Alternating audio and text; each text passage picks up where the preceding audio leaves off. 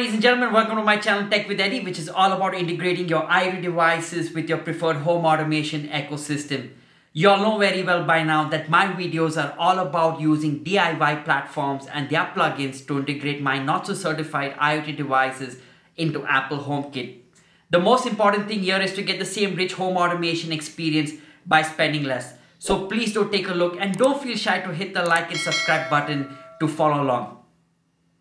So on my continuous quest, in today's video, we will use the Dafang hack and integrate the Xiaomi cam into Apple HomeKit. The good part here is that this hack is applicable for both for the Dafang as well as the Wyze cams and they work the same. They expose the hardware features directly into Apple HomeKit without the need of their apps. Most importantly, it runs locally and no need of the cloud services. Surprisingly enough, both cams look the same and if it wasn't the color difference between the two, I'm sure I wouldn't have noticed the difference between them. They are the same in hardware specs, but they use their own proprietary firmwares. So for all of this integration to work with Apple HomeKit, we will need obviously a Dafang cam. It can be also used with a Wyze cam as well. Two, a memory card. It could be a class 10, either 16 or a 32 GB, up to you. Three, the most important, your preferred home automation ecosystem. In my case, it's HOOBS, but can definitely be done in Homebridge as well. Now, I've broken down the videos into three parts with the timestamps in the description. They are one, flashing the cam, two, the plugin configuration, three, plus a bonus of adding the Wyze cam into your Synology NAS using the surveillance station. Now, don't forget to stay till the end to know which video is coming up next week so let's not waste time like I always say and let's jump into this tutorial. The custom firmware has two parts. The first part is altering the stock firmware to boot from a micro SD and it needs to be flashed over the stock firmware. This will only be needed to be done once and most importantly use a 512 MB partitioned logical drive. It works well. The second part is the custom firmware files which contains the custom software. All you have to do is paste them onto your SD card after you complete step one and then modify it by editing some files in the micro SD card, which we will go through as well. So first things first, you want to download the uh, bootloader into your uh, memory card for the particular model. So in this case, we will be with the Xiaomi Xiaofang T20. So uh, let's click on that and uh, it will download a file then all you got to do is re rename it to demo.bin, copy it and paste it onto your memory card. Once that is done, insert the memory card into your uh, camera. Hold down the setup button on the camera while plugging in the USB power cable. Keep the setup button pressed for another 10 seconds and uh, wait till it turns blue. Uh, once the light is blue for after a couple of seconds, 10 seconds to be precise, 10 or 15 seconds, uh, let the flashing process complete.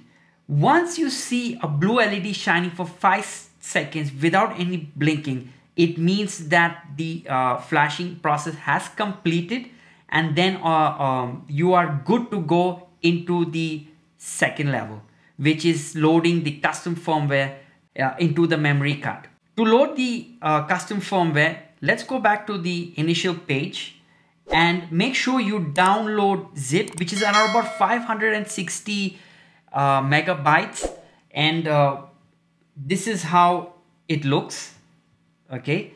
And all you got to do is open up the firmware underscore mod copy all the files go into your memory card delete the demo.bin paste all of the files and within this section we need to tweak three files so that we can uh, uh, load the custom firmware correctly. To do that, go into the config. The first one you want to do is update the RTSP file. So in my case, I'm using Atom, the program to uh, edit the files. And within this file, you want to make sure you update with whatever parameters. So in my case, I will use here width of 1280 and with a height of 720 I'm going to delete the MJPEG RTSP I'm going to delete this one as well. For the video, I've tested it and it, works well, 2299 bitrate. Again, it all depends. And uh, the frame rate, I've left it to 15 and I left the default uh, video format. For the audio format, I left it as it is, didn't change anything. Let's save it. The next file you want to update is the static IP. Uh, in my case, just delete all of these files. In my case, I'm going to use uh, .8698. You can go through your router and uh, select any other IP address. It's up to you. And then the last one is the Wi-Fi username and password. Now, a couple of forums that I, re uh, I read was that uh, the uh, SSID information, you need to tinker a bit in terms of additional settings. You can choose what you want. I tested this configuration before I could come up with this video. So um, I will use all of this and uh, it worked well. And all you got to do at this line is uh, insert in your password. File, save. Once that's done, let's eject the memory card. Then we take the cam and just make sure you put the uh, memory card and uh, let's boot it up. Now once the now once the boot up is completed, it should take a couple of seconds. You you should hear a couple of click sounds from the camera, and uh, let's go in and uh, log into that IP address that we had assigned to the camera. Okay. Now once you log into the uh, link that you specified in the static IP file, you will see this message: Beat Safari or uh, Chrome. So uh, let's click on show details. Uh, there's no point of viewing the certificate and let's visit the website. And if your system does prom uh, prompt the password to provide that as well. So uh, there it is. The camera is up and running. You can see it on my screen. It's right here at the side. Uh, very quick over here. You can go into the camera controls and turn on all of these filters over here and options uh, uh, straight to this view how the camera will work.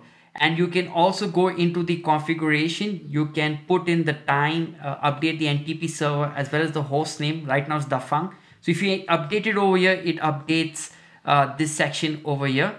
Uh, you can go into the administration if you want to update the password which is ismart12 and the username is root. So if you want you can uh, change that as well uh, video. You can go and tweak in the settings but we've already done in the RTSP that's the values that we had uh, put in. Uh, you can change it. And this is the link that we want to do. So let's uh, copy the link and uh, let's save it into our file.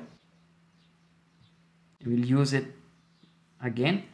So basically this is what you're seeing me right now. And we have the camera uh, loaded successfully with the uh, custom firmware. Now let's go into the part of uh, loading in the uh, plugin to expose the same cam into Apple HomeKit.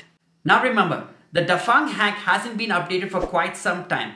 If it doesn't work for you, you can always revert back to the original firmware just by removing the micro SD card and letting it boot again. Now for the plugin config, we will use the same plugin that we used last week with the Wyze Cam for the uh, Dafang Cam to uh, show up in Apple HomeKit.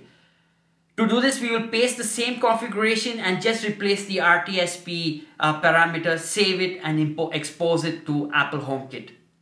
Let's log into our HOOBS platform. Let's go into the configuration. So let's copy paste the configuration and paste it after this. And the first thing we want to update is the name of the cam. So we're going to name it as Dafang. Manufacturer as Xiaomi. And we can leave all the other information as it is. The next one we want to change is the RTSP link. So we had copied that previously. So let's copy and let's update it over here. The same thing we want to do that for the still image source and uh, the frames we can drop it down to 15 and uh, we're good to go. So let's save changes.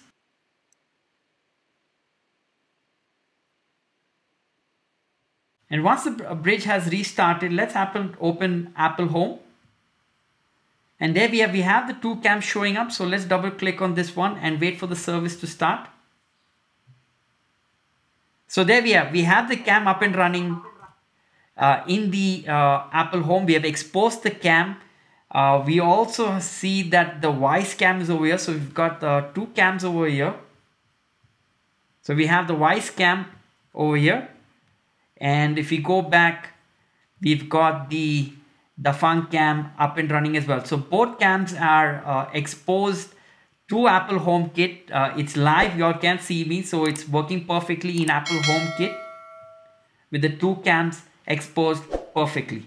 Now let's go into the bonus section.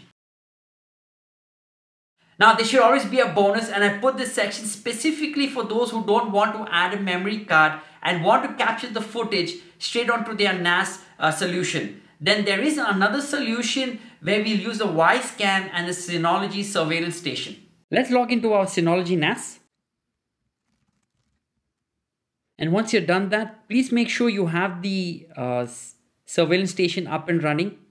That one over here. So if you haven't, please make sure you have it installed. And once it's installed, uh, have the service running and click on open. It works well with uh, Google Chrome, but in our case, we're using uh, Safari. Let's close this. And what we want to do is add in a cam. So let's go to IP camera. Uh, let's add a cam. Quick setup. Let's select over here Wyze version V2 and let's put in the IP address and the password that we had assigned. Once that's completed, let's click on test connection. So there we are. It can see me clearly and let's hit next. Finish and then we can click on it and then we can see live that this is uh, broadcasting to the Synology surveillance station and it's it's working perfectly. So from the last week we hacked it, we got the RTSP protocol working and now we can use it into our um, NAS solution by not adding any additional memory card. It just works flawless. Okay, so uh, that's it. And uh, you can also see the Apple Home app again. So there we have, we have the, the Cam up and running perfectly. And if we go back, we also have the Wyze cam broadcasting to Apple HomeKit. So uh, we have both these cams working. It does take some time to trigger up. And we also imported uh, the camera into Synology NAS. That's about it. Finally, there we are collaboratively we have flashed and configured the Dafang cam into Apple HomeKit using the RTSP protocol plus tinkered more into the software to enable other protocols to view the feed into your Synology NAS.